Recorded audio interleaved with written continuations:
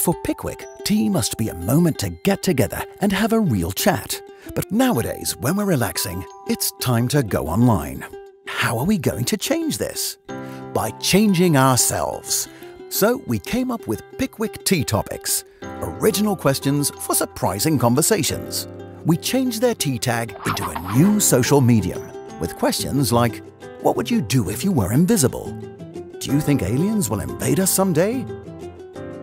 Who do you want to be for a day? What's the most useless advice you ever got? We created 90 different tea topics and printed them on our own free medium.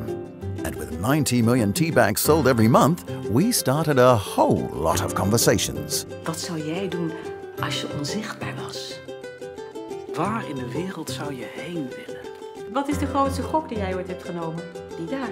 So, by reinventing their product, sharing a cup of tea became social again.